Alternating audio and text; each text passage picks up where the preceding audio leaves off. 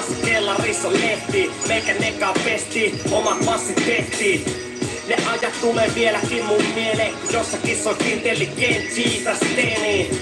Tilassa vahva paino, musteet tuoksu Make money, kalja toi ja pari puot juostu Rikollista elämää, iso peli elätää Meikällä taas ei riitä siihen pokka eikä pää Nauratti 70 show ja se kelso. Nyt venaan bussiin, meininki on pelso. Kummallinen kela puhuu lasi läpi luuri. Väke pääsi duuni, lasi räpi kuuri ja himaa Mietiskeilepänä Kaikenlaista haluun elämältä, mutta tätä 9-0-1-5-0 Tällaista taas 08 suunta numeroilla Ikkunassa sinistä ja punasta valoa ja mut sanoo Tähän valo, tauluihin poika haloo Ikkunassa sinistä ja punasta valoa Kytä kiske meidän kotitaloon Iso koiri panna rautoihin ja mut sanoo Tähän valo, tauluihin poika haloo haloo Sipping out drinks just like free. Jes, niin kuin ennen vanhaa. Koulujärjestelmä, yksi meikä nolla. Toisilla on vittu paha olla. Systeemi on niille, jotka pystyy tekemään töitä. Paska määhä, jos on mielen häiriöitä. Käsittä houkuttelee rikokset ja huumeet. Et oo yksi meistäkin skidistä asti kuulee. Lasten tarhassa jo hierarkia selvä. Se ei pääse pelaa, joka pelkää. Kunnon veronmaksajia suojelee poliisi. Pistää roskasakki asfalttiin ja tunkeutuu kotiisi. Sitä ei näytetä siinä sarjassa. Kun provosoitu kyttää mukiloi sun kaverilta irti pari hammasta. Mun veli ei oo syytä, mut kohtelu on sydämetön, jos et sovi massa. Sopeudu tai kuole. Kuten liian monet nuoret. Ympäri sysi synkää Suomeen Ikkunassa sinistä ja punasta valoa Kytä kiske meidän kotitaloon Iso koodi panna rautoihin ja mut sanoo. Rähä valo, tauluihin poika haloo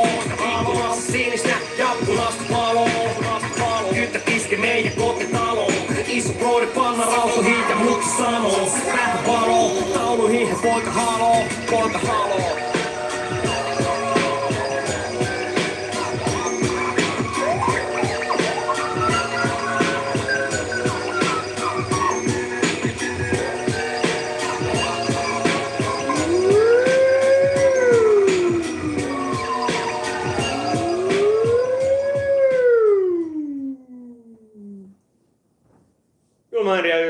2008 on lähtenyt käyntiin vai onko lähtenyt käyntiin? Elämmekö harhassa? We are live!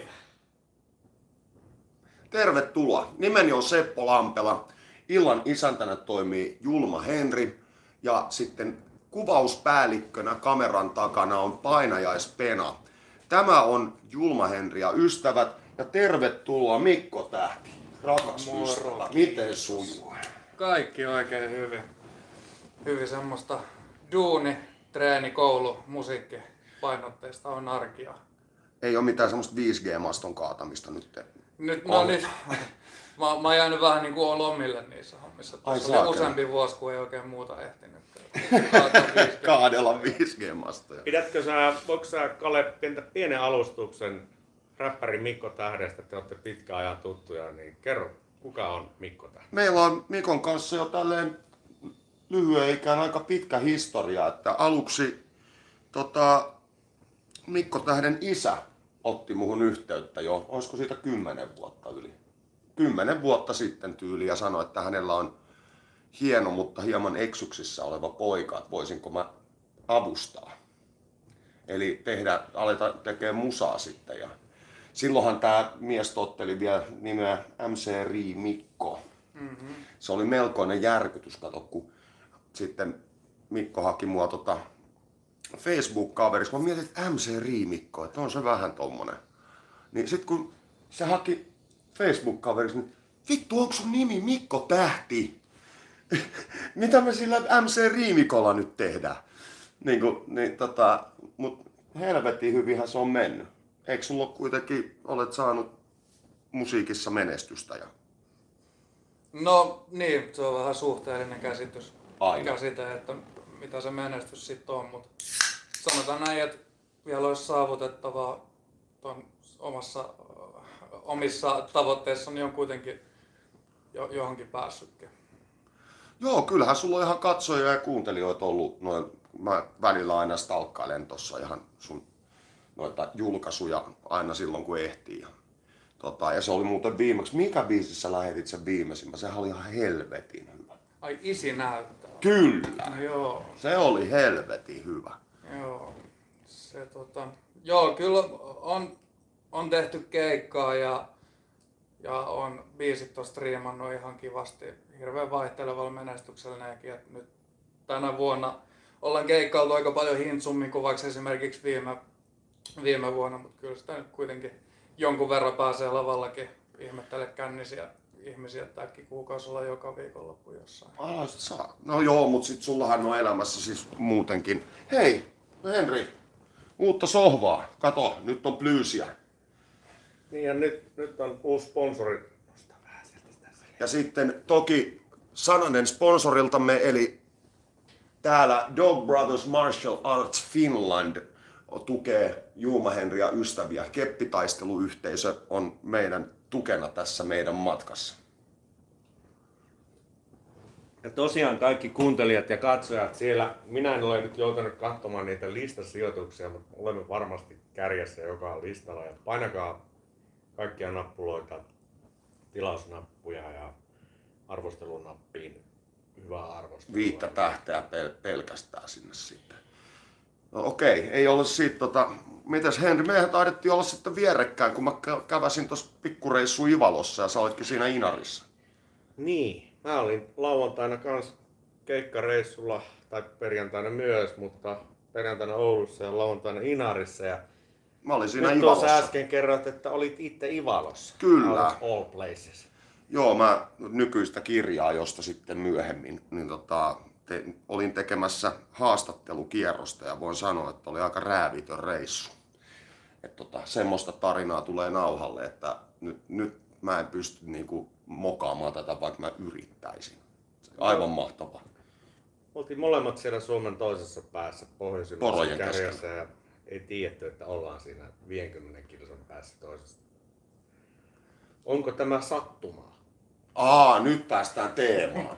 Eli päivän teema on salaliitot ja äh, ehkä tarkemmin Henri, ota koppi tosta, kun siis sähän nyt menit vihdoinkin katsomaan tämän JFK avoin tapaus, joka kertoo John F. Kennedyn murhasta ja sen tutkimuksesta. Niin sä, nytkö sä sen katoit? Joo, mä nyt, nyt sain tiedon tästä JFKn salamurhasta viimein, 60 vuotta. että tota, uutiset kulkee välillä tosi hitaasti, mutta vuonna 64 tosiaan, olisi 64, suurin piirtein 64, About. JFK eli John F. Kennedy, Jenkkilän pol- poliisi.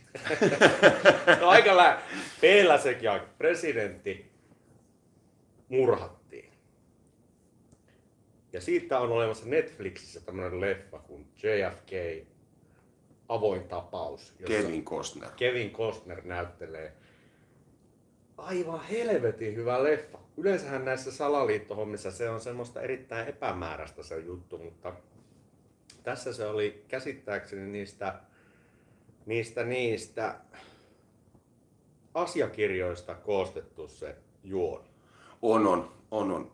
Käsittääkseni elokuvassa oli joitain epätarkkuuksia, mutta se on kuitenkin elokuva eikä dokumentti sinällään. Mutta siis kyllähän se hyvin stimuloiva ja Oliver Stone niin kyllä osaa hommansa. Että on Ja se vuonna- tehnyt aika kovia leffoja. Ja vuonna 2029 nämä asiakirjat tästä murhasta pitäisi tulla Ei tuu julkisuuteen. muuten. Ne, ne on siirretty vielä eteenpäin. Ai ne on vielä On, on. Mä, jo, tässä on joku, kun se alkaa, lähes, alkaa lähestyä se. Ne, ne, ne on julistanut niitä salaiseksi vielä pidemmäksi aikaa, että emme vielä päästä katsomaan niitä. Okei. Okay. Se oli sen leffan, leffan tota, takia, osa niistä asiakirjoista on jo, on jo julkaistu. Niin joo, se Mut kyllä teki sen. Ja, tarkemmin, että mitä, mitä asiakirjoja ja miten paljon, mutta ja tuomiohan oli todennäköinen salaliitto. Että. Eli nyt foliohattuu päähän joka jätkälle ja tytölle sinne niin, ja kaikille muillekin oletetuille, niin aletaan vetelee täältä meidän lemppari salaliittoteorioita ja sitten vähän, että mitä se Illuminati nykyään puuhailee. Mutta puhutaanko vielä tästä, hieman tästä JFKstä? Anna Tää- tulla tää vaan, oli- tää oli se sun inspiraationi. Tää oli niinku, mä join tällainen perinteisen salaliittotyyliin sanomaan, että Mä on tämmöisiä heittoja, että tehkää omat tutkimuksenne, ihan koska minä en tiedä mitä tässä nyt, enkä oikeastaan jaksa tarkistaakaan näitä faktoja. Omat tutkimukset, Perussalaliitto. Unohdetaan tosiasia. johtopäätökset? Ei, kun toi mun mielestä, anteeksi vaan, mutta mä, on, mä edustan kirjallisuutta, niin älkää tehkö mitään vitun omaa tutkimustyötä millään YouTube-kanavalla, vaan käykää nyt ihan oikeasti hakemassa sille vertaisarvioitu Eikö, tietoa eikö mä taas. sanoin niin tästä nyt tästä mun johdannosta tähän asiaan, että koska tämä on erittäin Mutta onhan toi stimuloiva. Että mä niinku pohjaan tämän nyt tähän elokuvaan. Eli siinä kävi sillä lailla siinä hommassa, että JFK oli ollut Sikojenlahdella Kyllä. pyörimässä ja siellä oli tullut semmoista sotatilannetta. Ja JFKllä oli alkanut se vituttamaan se homma ja se oli lähtenyt sieltä helvettiin. Suurin piirtein. Sitten se oli antanut potkut ukkeleille ja sanonut, että me ei muuten hyökätä nyt enää yhtään mihinkään, että nyt loppu tämä pelleily. No, sitten oli käynyt seuraavana sillä lailla, että se oli menossa Dallasiin Kyllä. ja se oli riitaantunut niiden muiden jätkien kanssa, jotka oli näiden tiedustelupalveluiden pomoja ja muuta ukkeleita. Ja Muun muassa CIA-johtaja Allen Dulles sai potkut tämän hässäkän seurauksena. No niinhän mä sanoin. Mutta joka tapauksessa. Se jätkä sitten tai joku muu näistä heitti sen JFKn turvapäällikön Alaskaan. Että lähdepä käymään Alaskassa, kun JFK on tuolla Dallasissa. Että sun ei tarvi hoitaa mitään. Menet sinne Alaskaan. Niin JFKllä ei sitten ollut minkäänlaista turvallisuutta siellä oikein mietitty tämän johdosta, koska se oli määrätty Alaskaan. Sitten sille oli semmoinen avoauto hommattu, ja sitten se reitti oli semmoinen, että se mutkitteli silleen siinä kaikkien hyvien ampumaspottien eessä. Hidasteli siinä ja näin poispäin. Sitten oli tiedossa, että tämmöinen Lee Harvey Oswald-tyyppinen mies aikoo salamurhata sen. Ja virallisen tarinan mukaan nyt kävi niin, että Lee Harvey Oswald oli omalla nimellään tilannut tämmöisen postimyyntiaseen, Sohlon, mikäs malli se oli? Karkaan. Italialainen tokan karkaan. Juu, just näin. Tar- tarkemmin tähän nyt, mutta kuitenkin. Ja kerrostalon paskaas. ylimmästä kerroksesta kolme laukkausta liikkuvaan kohteeseen kuudessa sekunnissa semmoisella. Joo. Yksi osu päähän, tämä on virallinen tarina, yksi osu päähän, yksi osu johonkin sillankaiteeseen ja katsojaan. Ja kolmas luoti oli niin hyvä luoti, että se osui seitsemään eri paikkaan. Se osui siihen edessä olevaan äijään, Kennedy ja sitten vähän meni sieltä. Niin vähän edes takaisin Kennedy. Magic Bullet. Ja tämä on se virallinen tarina, että yksi meni siltaan, yksi meni päähän ja yksi meni seitsemään eri paikkaa, yksi luoti. Ja tämä on se niinku kestämätön tämä virallinen tarina. Että Niin on. näin olla? Mutta tämä on virallinen tarina. Ja tästä niinku sitten lähti se mielenkiintoinen homma, että miten voi olla tämmöinen tarina, että jos et usko tähän viralliseen tarinaan, niin silloin uskot, että varmaan tässä on jotakin mätää, että voi olla salaliitto. Ja tota, tästähän me ei tiedetä, koska niitä ei niitä ruumin avaus pöytäkirjoja ei ole olemassa, ei tiedetä oikeastaan mitään. Tämä jäi tämmöiseksi ikuiseksi spekuloinniksi. Joka tapauksessa JFKn käskyt vetää ne CIAn ukkelit tai erottaa ne, niin ne mun mielestä peruutettiin. Ukkelit sai jatkaa ja Vietnamin sotaa, sieltä ei vetäydytty niin kuin se olisi halunnut, vaan sinne mentiin ja alkoi rytisemään. Ja tähän liittyy nyt tämä oleellinen, ehkä tämä tänäkin päivänä vielä toiminnassa oleva tämä Military Industrial Complex. Eli tässä leffa alussa, oliko se Eisenhower, joka Joo. pitää sen puheen, että tätä military industrial kompleksia, eli tämmöistä sotateollisuuden ja tiedustelutoiminnan yhteis, yhteis jotakin järjestelmää ei saa päästää valtaan, että sitten on niin kuin pirun verrassa. Mutta jos te leffaa uskoo, niin JFK pisti hanttiin tälle porukalle ja hävisi. Ja se on ollut Niin no eikö sosi- sotateollisuus ole maailman tuottoisin teollisuus ollut jo kauan. Niin se on, sillä se tämmöinen odotettavissa oleva elinikä saattaa lyhentyä aika merkittävästi, jos lähdet pullikoimaan sinne. Eli tämä sotateollisuus on tämä yksi näiden salaliittoteo- tulevienkin salaliittoteorioiden yksi semmoinen komponentti. Ja toinen komponentti on deep state. Eli tässä yhteydessä, JFK-yhteydessä, tämä tarkoittiin tätä tiedustelu viranomaisten ja ketäs muita sinne sitten deep stateissa sitten olisi?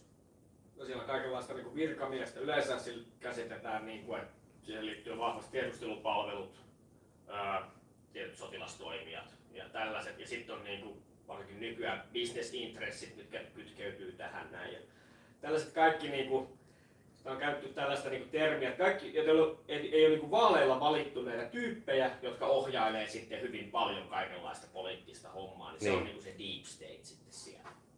Niin se on niinku Suomessa, mikähän Suomen deep state voisi olla? Ehkä Lestat varmaankin. se, se tuli. Nyt lähti. No niin, nyt aletaan olla jo tarpeeksi hapokkaalla leveleillä. No, Joo, se on varmaan niin virkamiehet ja liike-elämän edustajat tällaiset, niin on, se, on sitä statea Niin. Niin, tai sitten mietitään just joku kokoomustakin pyörittää kuin 30 perhettä. Niin. Olisiko se se? No joka tapauksessa tässä on nää, tämä military industrial complex, sotateollisuus, hässäkkä ja sitten tämä deep state, eli tämmöinen epävirallinen johto, joka on siellä aina sen hallitsijan taustalla. Niin näähän sitten on jatkanut elämäänsä tästä JFKn keissistä eteenpäin ja näihin käsitteisiin mä ainakin itse törmäsin joskus, kun oli salaliittopäissä, niin olisikohan se ollut 2000-luvun alkupuolella, kun tuli tämä 9-11, Joo. Siinä oli sotateollisuus juttu, että sillä oikeutettiin se hyökkäys sinne Irakiin. Eikä siinä, mikäs logiikka siinä oli, että eihän irakilaisilla ollut mitään tekemistä asian kanssa. Mutta Hyökätään niillä, nyt johonkin. niillä piti kuitenkin olla niitä weapons of mass destruction, eli jotakin. Joo, ei niitä ollut. Niitäkään ei sieltä löytynyt. Ei löytynyt. Miten se meni kuitenkin? Sitten se piileskeli, tämä Hussein ihan piileskeli siellä jossain kellarissa ja ne löysi ja hirtti sen. Ja sitten maailma oli taas hieman parempi paikka. Ja tähän liittyy jotenkin löyhästi tämä varapresidentin sotateollisuuskytkös.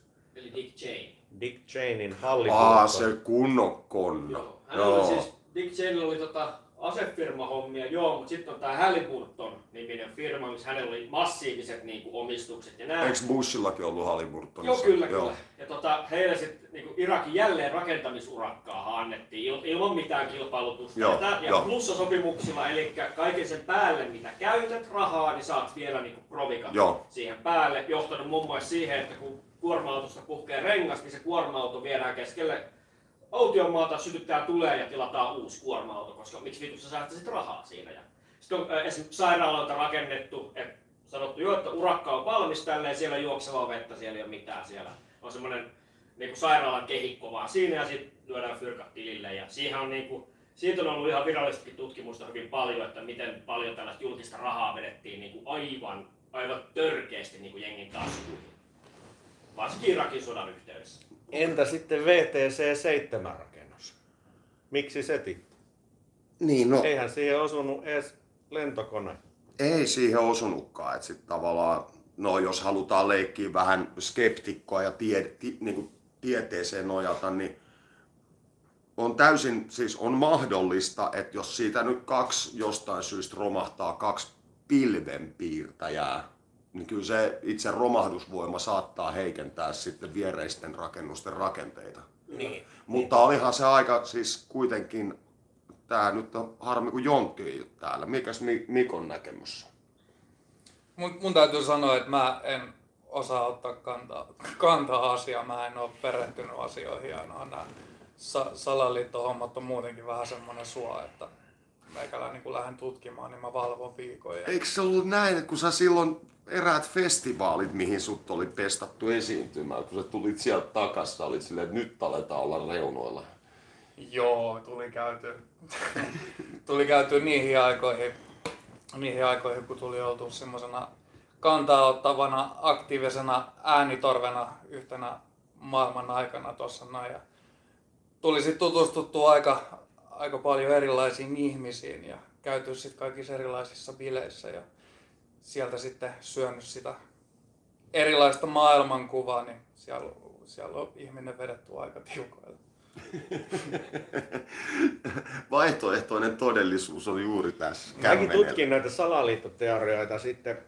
No, nämä on ne perushommat, tämä VTC ja Irakin keissi. Ja jossakin vaiheessa, kun sitten se selitys meni siihen, että tuli lisko-ihmiset vastaan. Ää, muodon muuttavat lisko, muotoa muuttavat liskoilijat. Reptoidit. Reptoidit. Shapeshifting reptiles. Mikä se on se tota... Se oli vähän hankala. Se oli vähän hankala. Anunnaki. Anunnakit, joo joo. Anunnaki reptoidit. Joo joo, just näin, että toiselta planeetalta saapuneet muotoa muuttavat liskoihmiset. Tämä menee ihan, tää on ihan loogista, kun vähänkin ajattelette. Se on vähän niin kuin siinä vanhassa V-sarjassa, jossa ne Niin oli. Ne oli ne, mutta joka tapauksessa eikö nyt ole jotakin UFO-havaintoja kuitenkin ollut, että tää, onko se nyt niin, että liskoihmiset nyt kuitenkin sitten vei voiton niistä? UFO-hommista oli nyt tota, tämmönen jenkki, onko ilmavoimien suht korkea-arvoinen entinen upseeri, niin on tehnyt tämmösen, tämmösen tota, vähän niinku, mikä se on, whistleblower-homman, että hän oli kongressissa todistamassa, joo, että meillä on USA, USA valtio, he on löytänyt tällaisia avaruusaluksia ja avaruusolentojakin ja pitänyt niitä hallussaan ja niiden avulla teknologiaa on kehitetty. Niin tää on tää klassikkoteoria. mitään joo. konkreettisia todisteita hän ei ole esittänyt, vaan hän on sanonut, että niin kuin kansallisen turvallisuuden nimissä niin hän pystyy vaan tällä niin kuin suljettujen ovien takana näitä esittämään todisteita. Niin no kun toi nyt on aina, että mietitään vaikka nykypäivän kamerat sun muut, niin miksi ne on aina niin tuhnusi ne valokuvat? Ja oliko Luulisi se, nyt Herran Jumala ja nykykameroilla saavan vähän tää terävämpää kuvaa, ettei tää ole enää mikään 50-luku. ja oliko nämä liskoihmisiä siis, jos tähän puhuu siellä? Oli tullut sillä Ei, nämä, nämä on varmaan enemmän sitä Grey Alien osastoa, eli pieni kroppa. Yllättävän kova tietopohja sulla siellä. Anna, anna. Eli, Olen eli, käynyt tietyillä sivuilla joskus tuonnempaa. eli ei vedetä tästä nyt yh, liskoihmisestä tähän UFOon nyt sitten tätä, koska he on harmaata ja liskot on vihreitä. Ja se on vähän ole- muutenkin se, että niinku, välillä, välillä kun tota on, sanotaan joku ihan todenmukaisenkin kuulunen teoria tai semmoinen, mistä on jotain aitoa tietoa, niin sitten välillä se on vähän kuin sä paskaltaisit sinne booliasti on se, että niin, mutta reptoidit myös sitten tietenkin ja maulitteja ja tälleen näin. Joo, just se, että kun se lähtee, että siis ihan varmasti tästä on ollut, tota, tuollahan on Jenkeissä, mikäs tää nyt oli? Helvetti, kerros nyt. Operaatio Gladiokin on aika hieno tämmönen, missä NS vapautettiin tota Itäblokkia vääränlaisista hallinnoista. Joo. Jo, niin kuin, niin kuin väkivaltaisin keinoin. se tiedustelupalvelut ja NATO tämmöisiä stay behind armeijoita. Kyllä. Pyrittiin vaikuttamaan. Italiassa muun muassa oli hyvin paljon tätä Gladio-hommaa sodan aikana. Lavastettuja terrori-iskuja ja Just näin. Hyvin ikävä. Aldo Moron murha, tota, Italia, Italian pääministerin, silloisen pääministerin murha ja vastaava kytkeytyy siihen. Joo, ja sitten just tää sitten hallintoon on laitettu siis fundamentalisteja, että sit sillä saadaan tota lähi pelkoa vielä silleen viljeltyä lisää, että nehän olla niinku mie- miettii minkälaisia tyyppejä ne tiedustelupalvelun tyypit ovat minkäkin maan johtoon laittaneet, niin siinä on, siellä on aika kiinnostavaa sakkia kiinnostavilla taustoilla. Geopolitiikka ja Sahelta hei. Just Mutta näin. jos mennään eteenpäin tässä Jenkkien tarinasta sitten 9-11 ja Irakista ja näin poispäin. Mä, mä tipuin kelkassa siinä kohtaa. Mä lähdin hihhuloimaan johonkin hippiporukoihin ja muihin henkisiin hommiin.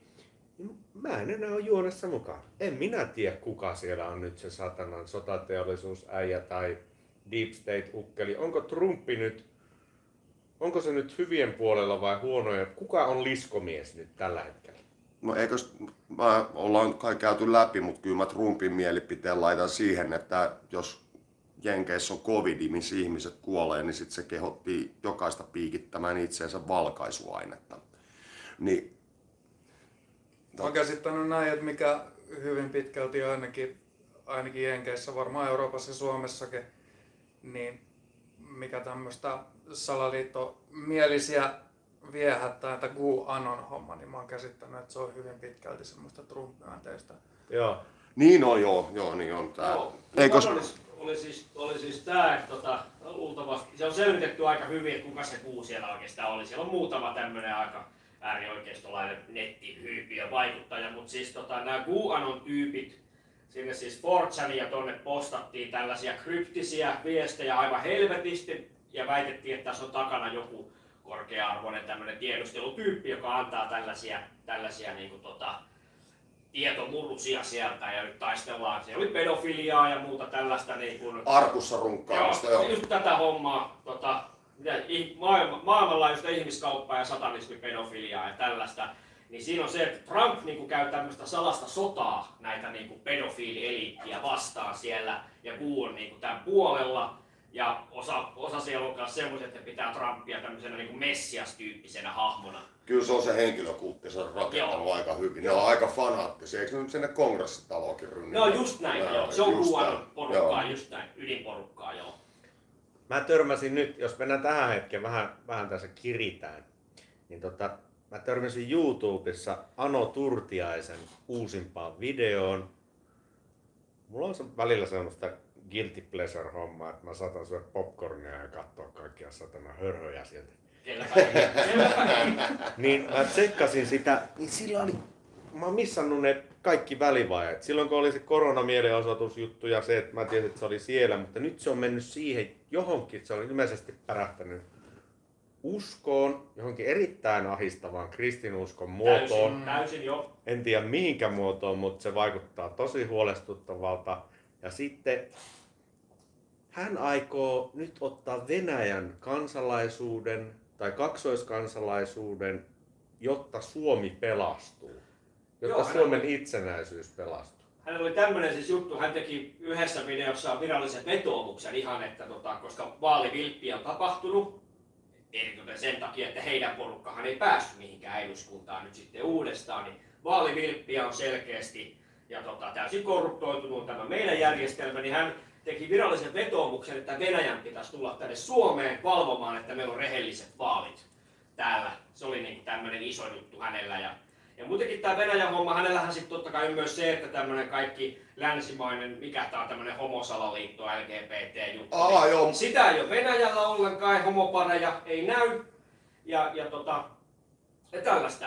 Tällaiseen, niin kuin se kytkeytyy hänen siihen uskontojuttuunsa, koska Venäjä edustaa tämmöistä niin kuin, ö, kristillistä ja jotain vahvaa arvopohjaa ja muuta tällaista paskaa. Ja sitten toki ei unohdeta sitä, että on myös ilmeisen niin kuin legitisti usko, että maa on litteä.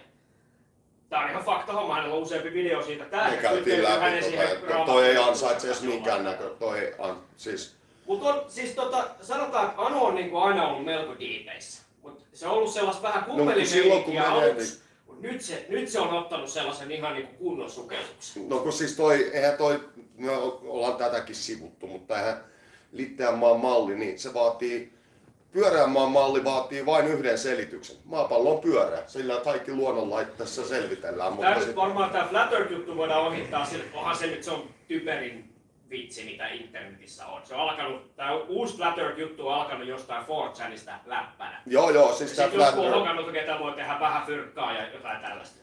Mä oon seurannut sitä Ano kanssa jonkun verran, kattonut silloin tällöin niitä sen juttuja, niin mä, se on vitun fiksu bisnesmies. Mä luulen, että tää on sitä. Koska silloin, miten se lähti just korona-aikoina työstämään sitä, tuota asiansa, mitä se tänä päivänä työstää, niin ei se, ei se ollut läheskään noin niin kuin out of earth, mitä se niin kuin tänä päivänä on. Ja Ehkä se Ai- hiffasi, että tää on nyt se rako, mitä ruvetaan käyttämään. ää, autossa matkalla tänne Henri tilasi minulta salaliiton. Niin mä yritin, katsoko, hyvä ystäväni Tatu kertoi minulle, hän on myös ekspertti aiheessa, että salaliitot toimii vähän niin kuin Jumala ennen toimi. Että jos on joku rako, semmoinen hämärä, ei tiedetä, siellä voi olla Jumala, se voi täyttää, mutta myös salaliitto voi täyttää tämän raon. Yhdistää kaikki yhdistelmät. Ja, ja tavallaan sehän on hyvä, että pystyy yhdistelemään, mutta mikä on sun tuore salaliitto? Mikä Tuore salaliitto liittyy perussuomalaisten rasismikohuun. Ei tää, eikä tämä edes sinällään, tämä on aika helposti jokaisen todennettavissa. Eli öö, nyt kun ollaan tämä lehdistökohu tapahtunut Purra ja näiden Rydmanin ja näiden kanssa tätä hommaa, niin minäpäs aloin tutkimaan valtioneuvoston päätöksiä. missä vammaislakia siirrettiin, vanhuslaki peruttiin ja kaikki pankkilait näköjään menee uusiksi. Ja aivan varmasti meidän kansalaisten parhaaksi. Eli tämä on tämä aika ilmiselvä salaliitto, eli hirveä kohu kaiken maailman jätesäkkipuheista, mitkä siis on todella ääliömäisiä, en mä sitä tarkoita, mutta nyt ihmiset tuijottaa ja ottaa itselleen tällaisen hullun tuohtumuksen ja moraalisen närkästyksen, eikä ne lue niitä päätöksiä, mitä sinä aikana tehdään.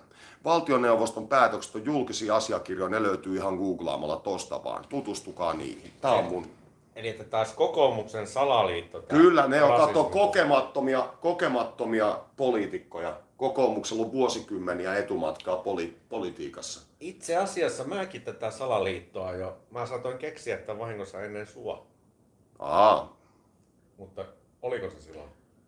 Ja sitten toinen salaliitto, minkä voi, on todennettavissa täysin, on silloin kun Ilkka Kanerva lähetteli aikoinaan eksoottinen tanssijatar Johanna Tukiaiselle viestejä, oletko pitänyt puutarhasi kunnossa. Niin silloin kun tota, toimittaja Lauma jahtasi Ilkka Kanervan eduskuntatalolle, hän sanoo vielä sinne, että minulla on nyt tämä NRF, ei kun NFR, Ää, no, joka tapauksessa lyhenne tarkoittaa liittymistä Naton nopean toiminnan joukkoihin vuonna 2008 ja kansalta ei kysytty yhtään mitään. Ja silloin oli lööpit, oli tota, täynnä Johanna Tukiaisen ja Ilkka Kanervan irstailua. Niin taas kerran laitetaan se käsi tekemään jotain ja toinen käsi tekee jotain muuta. Ja tämä on ihan todennettavissa oleva samalla päivämäärällä, kun lööppejä alkoi tulla Johanna Tukiaisesta ja Ilkka Kanervasta. Hän kirjoitti, allekirjoitti Naton nopean toiminnan joukkojen sopimuksen demokratian vastaisesti. Kyllä se yleensäkin tuppaa olemaan se, että kaikkea niin kuin ihan tällaista hyvin pienemmänkin luokan juttua, aina kun on joku iso kohu julkisuudessa, Kyllä. niin valtio esim. Tota, antaa tiedotteen jostain negatiivisista asioista, kun halutaan korottaa vähän jotain veroa tai muuten tehdä jotain semmoista vilunkin paskaa. Tai se voi olla joku vitun maa- ja metsätalousministeriö, mikä korottaa sun jonkun helvetin jätevesimaksun, tiedätkö? Tätä näin, niin sehän on ihan perus, perushomma, että aina kun on joku helvetin iso kohu, niin sitä käytetään vähän hyödyksi siinä. Mikä on- Syyn seuraussuhdehan siinä on sitten eri tietenkin. Mikäs meidän vieraan Mikko Tähden lempisalaliitto on sitten? No viimeisin ja paras, mihin mä oon törmännyt, on tää, että toi, mikä sitä oli tää, tää Microsoftia ja... Gates vai? Niin, Bill Gates himmentää auringon. Mun mielestä se on deep. Niin oli joo. Siis, se, ei, siis sehän, on- en, en mä tiedä, onko tuohon ihan tiedot, että ne aikoo laittaa jonkinnäköisen joo. purjeen siihen eteen, että ne voi viilentää planeetan lämpötilaa. Joo, tai purjaa, mutta ne lähettää sinne jotain hiukkasia tai jotain Oh. sinne, sinne ilmaan se auringon eteen, että se, se olisi meille kaikille sitä. Mutta se, eikö se laajene? Aurinkohan laajenee. No ei sen vielä pari miljardia vuoteen tee sitä, Henri. No se pitäisi joku, joku laajenemisen estäjäkin siellä. Laajenemisen estäjä. No mut niillä on, tuohon on aikaa, mikäli me nyt ei tuhota tätä meidän rakasta kotiplaneettaa tässä nyt ihan suorilta. Niin. Mutta tuossa on nois, täytyy sanoa nyt kun me ollaan heitetty näitä historiallisia juttuja ja kaiken maailman hommia, niin en halua, että tätä käsitetään nyt tätä meidän lähetystä sillä lailla, että Venäjä ottaa meidät johonkin satana uutislähetykseen disinformaation aseena aiheuttamaan tänne sekaannusta. Ainahan on sillä lailla, että kun sanotaan Eurooppa ja Venäjä ja Yhdysvallat aina on jonkun etu joku tilanne. Ei, tule semmoista tilannetta, että joku tilanne ei olisi toiselle edullinen. Varsinkin kun on tämmöisiä isoja valtoja siinä. Aina pystyy kehittämään salaliiton mihin vaan paikkaan, mistä vaan aiheesta, mutta ei salaliittoja ole aina. Joskus on salaliitto olemassa, mutta ei aina. Ei, mutta nehän on kuitenkin, mietitään, että täytyisi määritellä tarkemmin siis mitä salaliiton määritelmä on, mutta esimerkiksi joulu, jouluaatto lapsille on salaliitto. Ja Kääriältä Joulu. vietiin voitto. Se oli Ruotsin salaliitto. Ihan selkeä. Vieläkö te olette siitä nyt? Siis kaikki kunnia kääriälle, mutta come on. Hei, tää on teemajakso. Kyllähän nyt vittu tää otetaan. Kääriä! Ainakin ohi mennä. No mennään kääriä tässä. Ruotsilla, Ruotsilla on joku juhlavuosi. Appan juhla. Niin oli, Ja nimenomaan. Abban, Abban Håkan ja Per oli päättänyt, että se tulee Ruotsiin se juttu. Ja siellä oli kaikki jo varaukset, oli va- varattu Grönalund ja kaikki, että näin se tehdään. Ja sitten Kääriä saikin yleisöäänet. Totta kai sillä sitten tuomarit otti vallan ja siinä Deep State toimi. Deep. State. Euroviisu. Euroviisu ja Deep State. Appa. Deep State. Oi Jollain herra vitun asiantuntija äänillä viedään saatana jätkä vetää niinku kaikkien aikojen äänipotin saatana yleisöltä, niin jollain asiantuntija äänillä. Kuka vittu sielläkin on? Joku pumpsipumin pianisti päättää, että ei, Appan juhlavuoteen saadaan jollekin helvetin ruotsalaiselle poppikillutukselle joku pystinyt sieltä. Fuck off! Siis harvemmin, Miten nyt täytyy sanoa noin iho alle ihmisellä? Ruotsalainen oli parempi tänä vuonna, nyt on pakko sanoa, että Ai Loreen. oikeus on tapahtunut kerrankin. Jät, jätkä on Deep Statein jäsen. Joo. Te olette tullut No. Deep Statein jäsenen tänne meidän. Jätkä on Appan Eikö se ole vaan Deep-jäsen? Ei se mikään. Mä olin, mä olin Hämeenlinnan Skoksterissa tuossa noin kuukausi sitten ihan vapaa-ajalla kavereiden kanssa parilla tuopposella ja jumitettiin siinä. Ja yhtäkkiä alkoi cha cha cha soimaan. Mä en tykkää sitä biisistä, mutta sitten kun se pikkasen ottaa siihen lantioon sillä lailla. Sitten kun se lähtee, se lähtee siitä niinku, se lähtee, se, sitten kun se lähtee, niin jumalauta, kyllä siellä oli, kaikki siellä oltiin saatana ihan. Ei Jumala siihen ja voi, ystävät, sinun mainoksesi tässä. Hei, teidän mainoksenne todellakin tässä. Ja ohjelmaa tukee edelleen Dog Brothers Martial Arts Finland. kuunnellaanpa nyt tähän väliin vähän Mikko Tähteä, joka on meidän vieraan. Se- Hei, herran tähden, mitä sä laitat sieltä sitten? Mä laitan yhden tällaisen biisin. Tästä mä itse tykkäsin. Tää on vähän vanhempaa pari vuotta sitten julkaistua. Mikko Tähden rikollinen. No annahan tulla. Niin, mä, mä muistan tätä.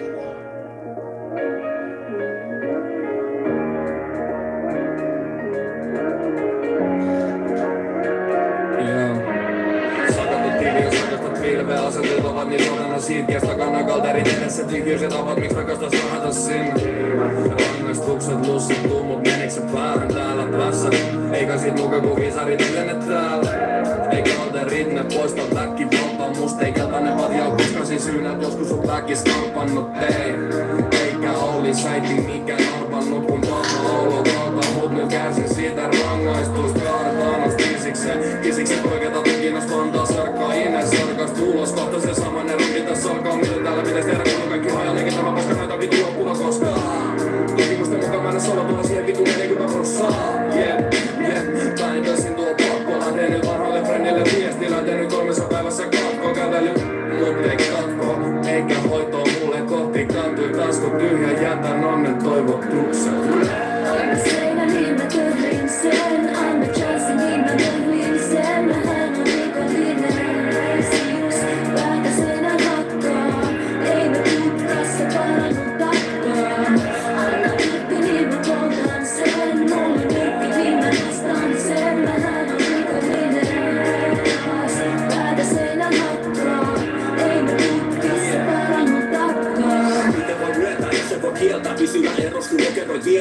vaan mikä vois onne pois viedä. Toiset on hies, mä operoin siellä. Tässä mä oon, kommentoi sieltä väärässä joo Joten voi tietää, vähän tässä on vaan pako Ei nähtävä oo, Mieti jos olisikin kuolla Molempi puoli kadettiin suota Kovempi vuosi. Kuitenkin tulossa Pitäisikö ehkä aikaisemmin juosta? Nopeampi nyt on jo kiire. Sun varasi kaveri luota. Oikeampi väärä, vasempi suora. Miten vaan toimitin maneri tuota Tuumi kun paketti tuodaan Mikä tässä on se petollinen kulma. Epäinen väite eikä lyki äänessä Kuulostaa monelle todistelulta Puhue monille muut ja sulle se sano sen ohi se suusta. Saa se kuulostaa sovittelulta Kunnes se rohkenee omi se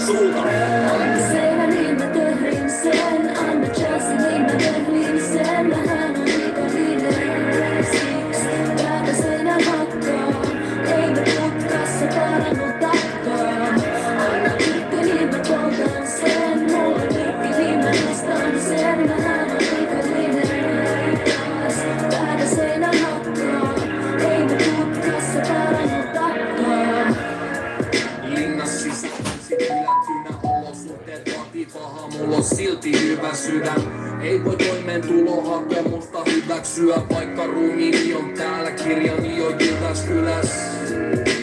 No mikä tää suhdellaan normeja muutetaan, haidutaan tulevaa. harvempi huudella kieltäytyy huumeista. Ei ollut istu takia hiljaa. Tän siitä sit saa kun ei pää riitä kirjaa. Tän siitä sit saa kun ei pelkä joutu linnaan. Tän siitä sit saa kun ei usko laki kirjaa. Apua ei lukkoja, ei kakola, vaan aurora. Savua ei pulloja, ei sakoja, vaan taukoja. Sulje mut selli, pistä se kiinni. Ruumiini jo panki, mutta mieli vapaa silti. Anna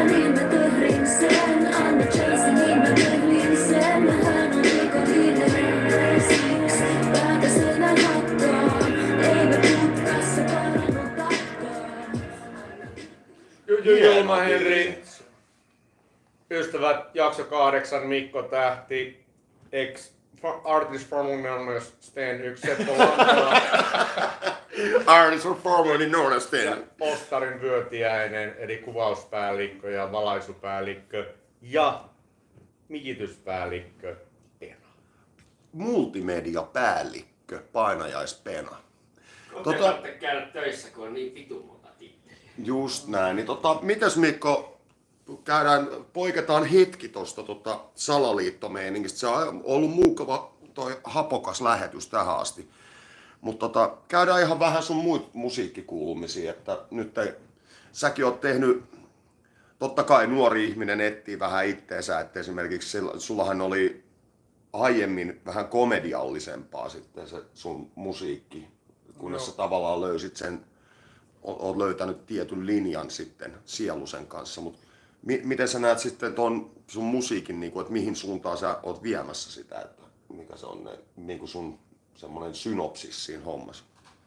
No itse asiassa, itse asiassa mä oon tarkastellut tätä matkaa siitä asti, kun ajan kanssa ollaan alettu, alettu mun musaa kattelemaan ja ihmettelemään, niin mä näen, että mun musiikki, tekemäni musiikki muuttuu hyvin pitkälti sen mukaan, että millaista mun elämäni siinä kohtaa on. Joo. Mä tein hyvin paljon komediallisempaa musiikkia silloin, kun mä en ottanut elämäni oikeastaan juurikaan Aivan ollenkaan puhutaan siitä, kun me vakavasti. oltiin pikku seikkailussa Dagger Deakin kanssa, käytiin vähän siellä eri kaupungissa pyörähtämässä no, ja no, no comment. no comments, ei voi tässä helvetti vieläkö puhu mitään, niin tota, Mutta sitten sit, sit mä lähdin siitä, siitä rakentaa, mä pistin koko mun levy ihan uudestaan. Mä työskentelin silloin mielenterveys- ja päihdetyössä, joten se mun ensimmäinen levy sitten hyvin pitkälti käsitteli tätä mielenterveys- ja päihde.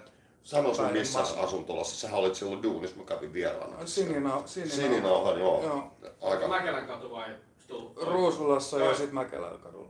joo. Joo, mä olin Mäkelän kadulla jatkaassa. Joo. Eksyn asiasta kuitenkin. Mä oon vaan nähnyt siellä semmoisen, semmoisen kaapin, missä lukee pohjalla. Mä oon miettinyt, Joo. että se on varmaan äijä. Se voi olla kyllä tota, niin, niin, asiakaskunnankin. henkilökunnan tilassa. Henkilökunnan. No niin, no joo. Joo. No mut siis joo, anyways. Sitten tota, sit Sielusen kanssa alettiin tekemään kimpassa ja Sieluselkku on semmonen maailman makeen soundi ja sillä on kans tota, laajaa näkemystä elämästä. Niin ollaan sitten sen kanssa hyvin pitkälti tovi tässä tehty biisejä nimenomaan niin kuin elämästä. No just mietin, kun tossa, kun tossa olisi se, te teitte niitä kesäsessioita Sielusen kanssa, niin Mm. pitäisikö ne hirmulöydyt sitten pistää soimaan tossa tota, Joo, miksi ei? niin, YouTubesta löytyy sen niminen biisi kuin Mikko Tähti, että Sielunen hirmulöydyt. Mut nyt mulla on itse asiassa semmonen tilanne, mä oon ruvennut tekemään soololevyä ja mä menen taas ihan eri suuntaan. Mi- Mun- Mitäs sä nyt sitten oot kehitellyt? No kun mun elämäni sisältää tällä hetkellä, mä käyn töissä ja mä opiskelen ja mä oon löytänyt kamppailuurheilun isoksi osaksi arkea ja, ja tota, sanotaan näin, että no, johonkin siihen se liittyy. Okei. Okay. En, en halukkaan paljastaa liikaa. Ei, ei, mutta siis on, miten sä koet, oot sä, löydät sä semmoista kypsyyttä, että sitä, kun joskus nuorena tekee kröhöm, nuorena kun jonkun levyn tekee, niin sitten sitä ehkä, en, en, en sano, että kadun, mutta kyllä siinä on joutunut tarkistamaan niitä omia näkökulmia kerran tai pari uudestaan, kun nuorena ja vihasena jotain tekee. Tarkoitatko tätä levyä nimeltä Salaliittoteoria tietenkin. Oli muuten yksi ensimmäisiä viestiä chatissa tänään lähti Propsit salaittiteorian levylle juurikin aiheeseen kuuluen. Sitten meidän pitää muuten kehittää, tota, kun mä mietin, tosi jengi on pumminut, että kato, kun se olisi 20-vuotis synttärit, tois tammikuun vikapäivä. Että silloin levy olisi ollut 20 vuotta julkaistuna, niin kyllä meidän pojat pitää keksiä jotain pikku spessunamia siihen. Sitten keksitään joku hieno, hieno asia, miten me voitaisiin vähän juhlistaa sitä. En mä tiedä tuosta tehdystä musasta tavallaan. Ei, mulle ainakaan itselläni henkilökohtaisesti, vaikka on joitain asioita, mitä ei tänä päivänä ehkä enää sanoisi ja silleen, niin kuin, että ai vittu, mikä jätkä, mutta mut kuitenkin se musiikki, koska se on niin henkilökohtaista, niin se on mulle kuitenkin loppupeleissä sama kuin tämä tatuointi. Tää on ihan vituruma ja sille, kuka, sille ihmiset haluaisi tehdä vaikka mitä, mutta mä en halua tehdä sille mitään, koska se on eletty elämää. Ja, Ja sit näytä nyt vielä sen sun rystyset, saatana. Sille ei riittänyt sormet. Tää on hyvä, tää on hyvä, Turku. tää on hyvä. No ei toi on vielä paha. Mulla oli yksi kaveri, yksi punkkari, jotka Oulusta, joka oli turkistarhalla töissä. No joka tapauksessa rauha hänen siellä. Hänellä oli tatska. Teki semmoisella perhosneulalla. Joo. Sen nimi oli Hopo. Laittoi Hopo. Mikä on semmoinen nelikirjainen? Kusi! Joo! Hopo Kusi. Hopo, no pitää olla. Se niillä oli sitten rauha hänen sielulleen, mutta se oli aika älytön kanssa. Pahimmasta pää. On varmasti pahempiakin, mutta tota, No joo, mä en edes ala riisu paikaa vittu.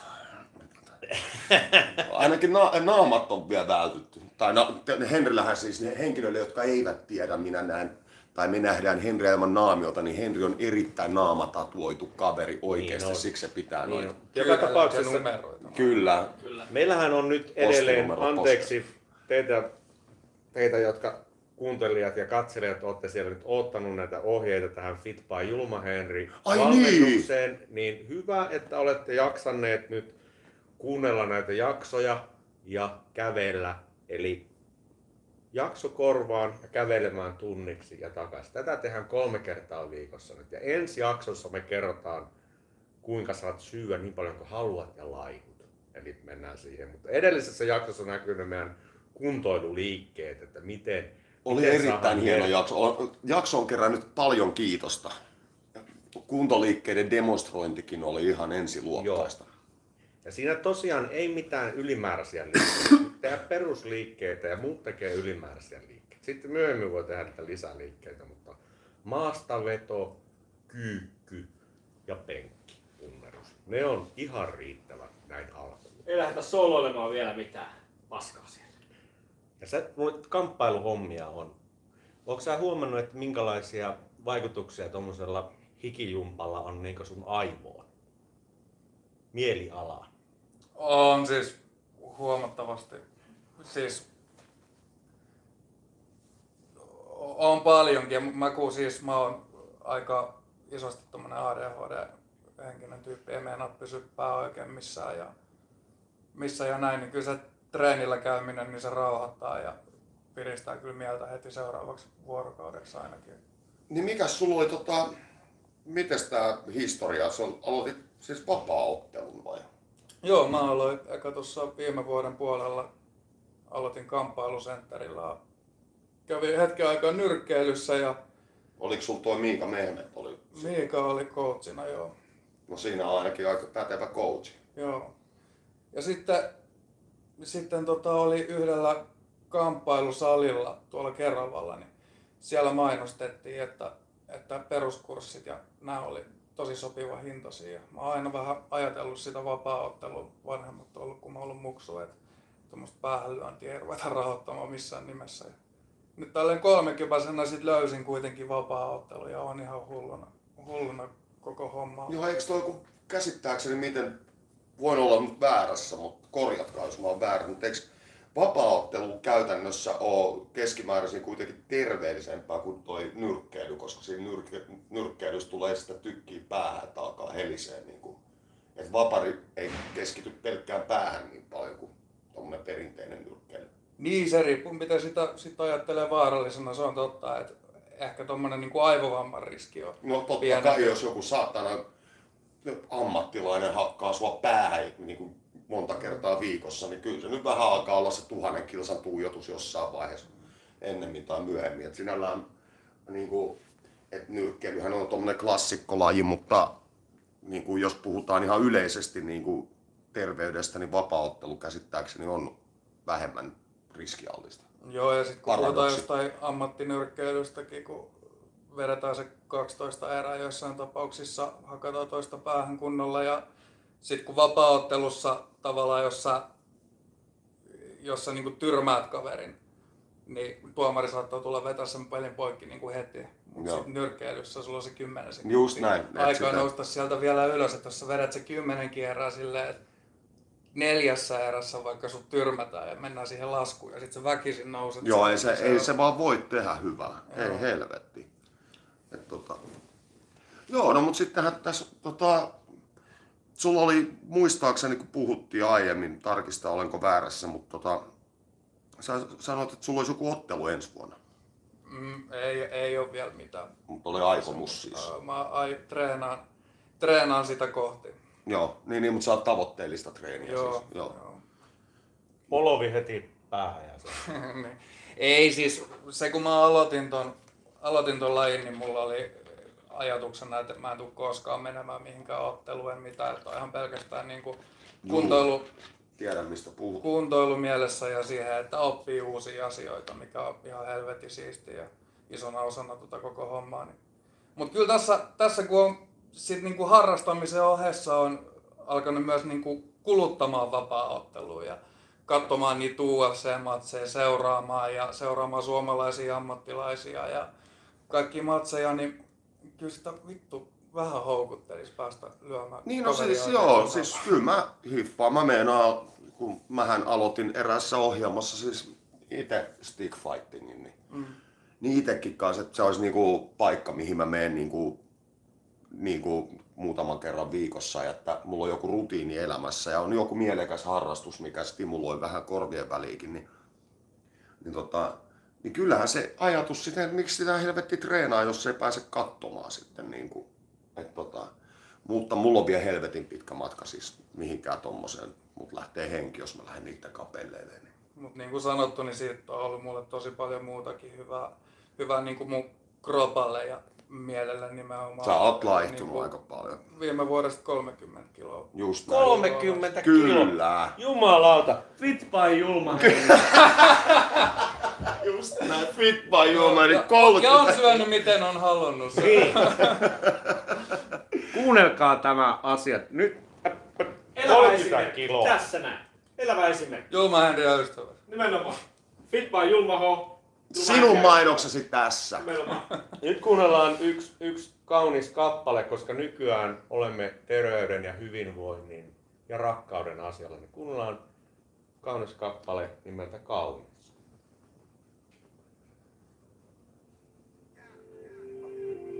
Mä yhtä kaunis kuin mun maailma.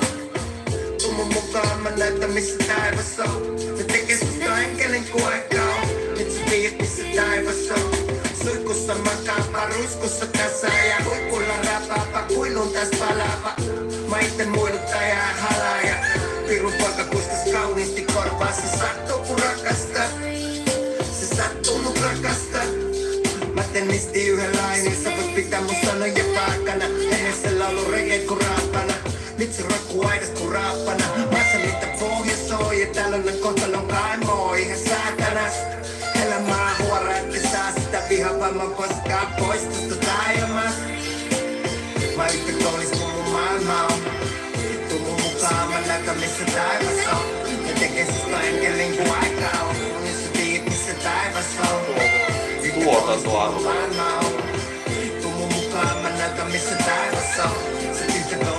maailma on Ei vakaumuksia mun maailmaa voi taivaa yllä Mä rakastun satees kyllä. Ne pisarat kasvoi peittää mun kyyneleet Kikaros lentää taas yltää Mokan tonne kelat kun siivet tules.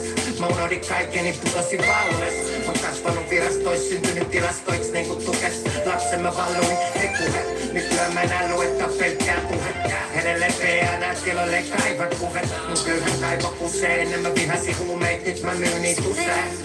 Mä näet välitä, mä välitä kästä äiti poikas teittyy silloin varjois hyvin, katkeruus tarjosi trauma. Mä kepin koittelin jää, äiti mustelmat pääs, mulle soitteli jää. Sano suissa se vaan poikkesi tää. Mä oon yhtä kaunis kuin mun maailma. Tuu mun mukaan, mä näytän missä taivas on. Ja tekee susta enkelin kuin aika on. Missä tiedät missä taivas on. Mä oon yhtä kaunis kuin mun maailma. Tuu mun mukaan, mä näytän missä taivas on. Ja tekee susta enkelin kuin aika on. Missä tiedät missä taivas on. No joo, ihan nätti. Se oli Ugin kaunis kappale. Mielestäni tämä on omistettu edesmenneelle Maatuskalle, joka, jonka biisejä ollaan täällä soitettu kanssa. Heillähän oli semmoinen yhteis, yhteisprojekti viritteillä siinä. Kyllä. Rest in peace. Mutta joka tapauksessa Julma Henri Ystävät jakso kahdeksan Salaliitot on huipentumassa loppupäähän. Meillä on Mikko Tähti vieraana. Käykää tsekkaamassa Mikko Tähden musat Spotifysta. Mikko Tähti ja Sialunen. Ja se kilpajuoksu on kerännyt aivan helvetinmoisen määrän kuunteluita.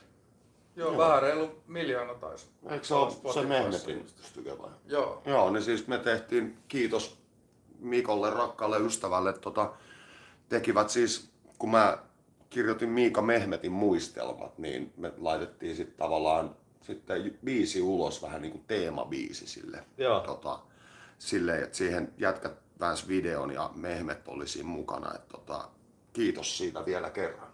Ei mitään, kiitos. Kiitos itselleni. Sehän oli, se oli, se oli mukava projekti hoitaa se video enää päivinä.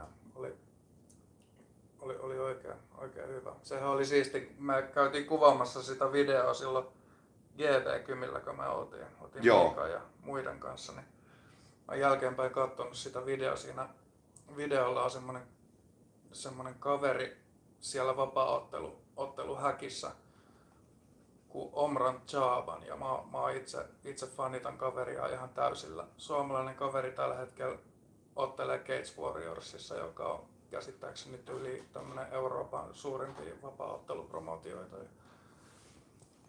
Si, siitä on jäänyt, jäänyt muisteltavaa. Joo, siis se oli ja mulle tärkeä biisi tavallaan itselleni sen takia, että se oli kuitenkin ensimmäinen asiakkaalle tehty kirja ikinä. Et se oli niinku oli, itsellä oli aika kovat panokset, että mitäs tästä tulee. Mutta ihan hyvähän siitä tuli ja biisistä tuli hyvä ja kaikki ovat saaneet vähän menestystä sitä kautta.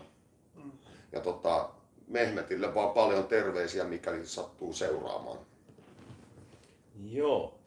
Mitäs Mikko, mitäs sulla on tulevaisuuden näkymässä? Musiikkia näyttää pukkaavan jatkuvasti ulos. Keikkahommia. Sä sanoit, että sulla on uutta kampetta tulossa jotakin eri suuntaa tai uutta suuntaa.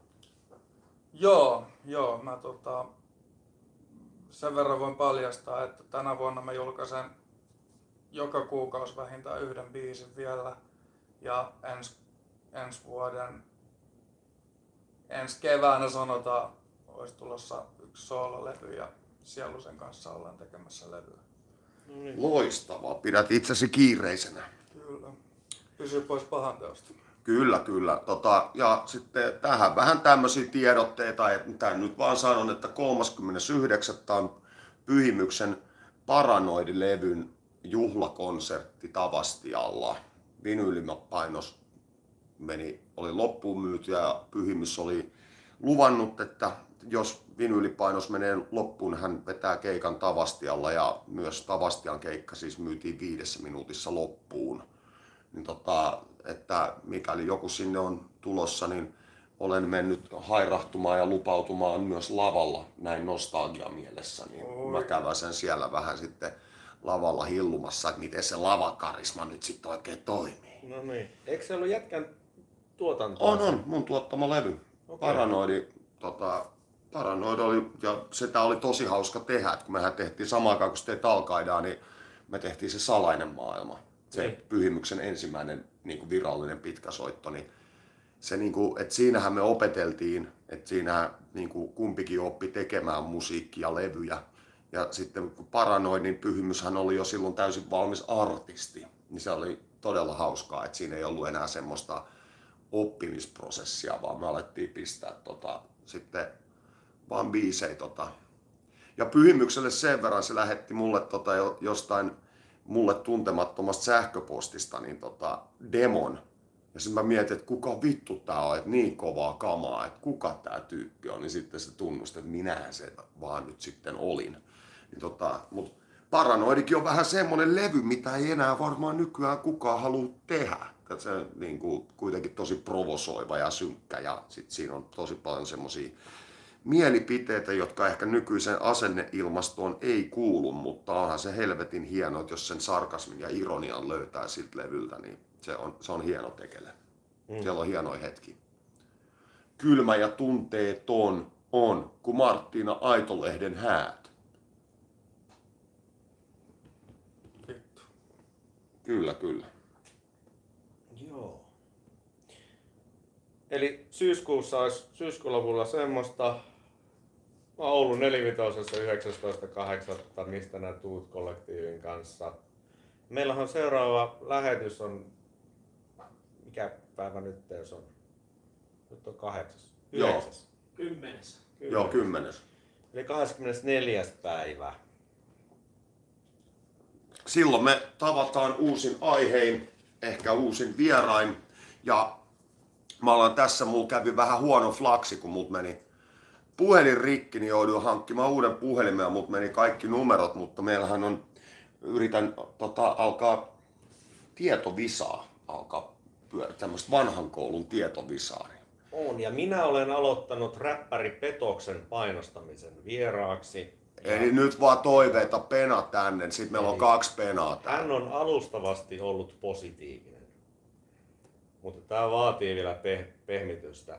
Yritän saada hänet 24. päivä tähän vieraaksi, mutta se vaatii vielä rituaaleja. Ja... vähän, vähän taivuttelua, Joo. mutta ei muuta kuin, ja Petokselle ehdottomasti terveisiä. Mies on aina hallinnut ja tulee aina hallitsemaan. Eli tota, Chatti tykkää ideasta saman tien. kyllähän Petos pitäisi saada niin kuin, ottaa tuohon vähän sit silleen semmoinen rennossa ilmapiirissä, kun mä, mä pidän siitä jätkästä ja tota, sen verran mä nyt kuitenkin sanoin, kun Pena, mä Petos siis otti itteensä, kun mä sanoin, että että kyllä se Sitykarhun metsästä ja vaikka kuinka loistava levy onkin, niin homoin levyn nimihän siinä on. Et sehän voisi olla Teuvo Lomanin tekemä. No niin. No niin, Kuvain ystävät, sinun mainoksesi tässä. kyllä ja terveisiä Tämä- Petokselle. Tämä oli jakso 8 Julmaneria ja ystävät palaa 24.8. Kiitoksia Kiitos, Mikko, Mikko Tähdelle. Tähti. Thank you. Liittykää Fit by Julmaherin valmennukseen ja kävel, kävelkää ulkona. Hei, mitkäs ne kengät oli? Kengät on Yeezy Foam Runnerit, 7 tonnin satana tohvelit. Ne arvotaan laihtujan kesken. Mikko laihtui 30 kiloa tässä valmennuksessa. Ja ei, Homma ei, etenee. ei, ei, Fit by Julma palataan asiaan. Kiitos. Hei, kiitos kaikille. Kiitos. Painakaa tykkään nappeja ja sinun mainoksesi tässä.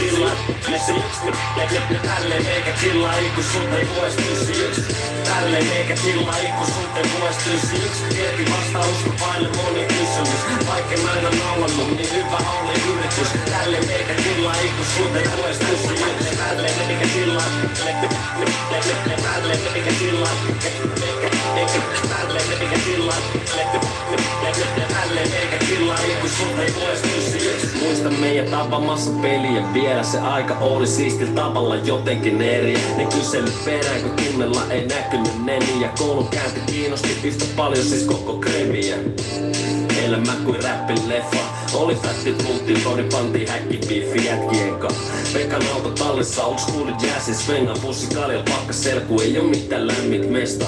Pissei fillan eka kerta kuuntelin Jedilla, pakko pöllin liiteen, hullu drive päästä rima. Nyt mikki testi miessä sijaa, blessi vuotta biitit, vuodet piiri paljon muuttuu, mut ei koskaan mun chillailu tyyli. Vieläkin grintaan kopissa tai heitä jatsit nopista, kerään massit keikolta ja nautin kokista. Moni meininki on matkan varrella jäänyt vähemmäksi, pakko kai hyväksyä, ette pääse niitä lähemmäksi. Päälle, mikä chillaa,